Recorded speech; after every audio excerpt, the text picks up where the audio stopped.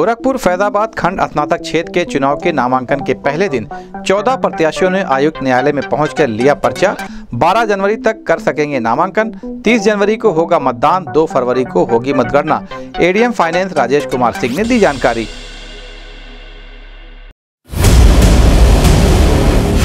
Gangster act के वांछित अभियुक्त दस हज़ार रूपए के इनामी राज यादव को बड़हलगंज थाने की पुलिस ने किया गिरफ़्तार, भेजा जेल।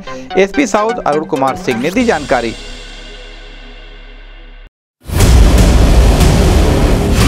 सड़क दुर्घटनाओं में कमी लाए जाने के लिए 5 जनवरी से 4 फरवरी तक प्रदेश में चलने वाले सड़क सुरक्षा माह का सजनवा विधायक प्रदीप शुक्ला ने शुभारंभ कर सड़क सुरक्षा प्रचार वाहन को हरी झंडी दिखाकर किया रवाना।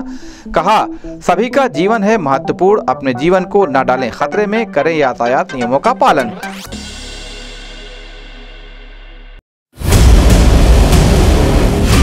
अप्रैल में खेलो इंडिया के तहत आयोजित होने वाले जल क्रीड़ा नेशनल गेम्स की तैयारियों को लेकर मंडलायुक्त रवि कुमार एनजी ने संबंधित अधिकारियों के साथ की बैठक। 500 खिलाड़ियों करेंगे प्रतिभाग। खिलाड़ियों के रुकने खाने पीने की रहेगी पूरी व्यवस्था।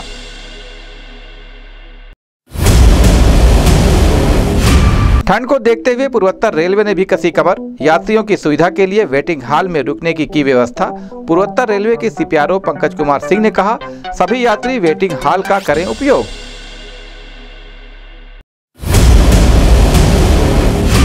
जीडीए उपाध्यक्ष महेंद्र सिंह तंवर की अध्यक्षता में मानचित समाधान दिवस का किया गया आयोजन। सालों से फंसे मानचित की की सुनवाई।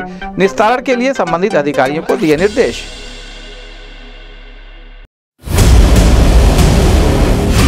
गोरखपुर, फैजाबाद खंड स्नातक क्षेत्र के नामांकन स्थल के सुरक्षा के दृष्टिगत सिविल पुलिस व पीएसी की लगाई गई है ड्यूटी।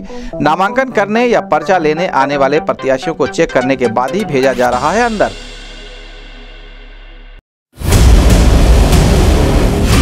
गोरखपुर खेल महोत्सव के अंतर्गत जिला स्तरीय खेल प्रतियोगिताओं का हुआ शुभारंभ। क्षेत्रीय क्रीड़ा अधिकारी आले हैदर ने कहा, पूरे ज़िले के हज़ारों की संख्या में खिलाड़ी करेंगे प्रतिभाग। 12 जनवरी को विजेता खिलाड़ियों को किया जाएगा पुरस्कृत।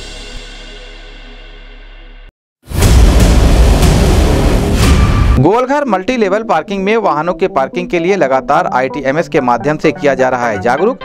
फिर भी लोग अपने वाहनों को खड़ा कर रहे हैं सड़कों पर। सीओ ट्रैफ़िक जयप्रकाश सिंह ने कहा, अभियान चलाकर एक सौ बानवे वाहनों को एमबी एक्ट के तहत किया गया चालान और चौवन वाहनों को किया गया सीज। आगे भी चलता रहेगा अभियान।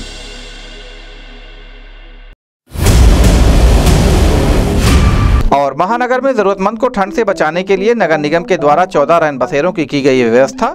नगर निगम के मुख्य अभियंता संजय चौहान ने कहा, यदि कोई समस्या है तो नगर निगम के टोल फ्री नंबर पंद्रह तैतीस पर कर सकते हैं कॉल।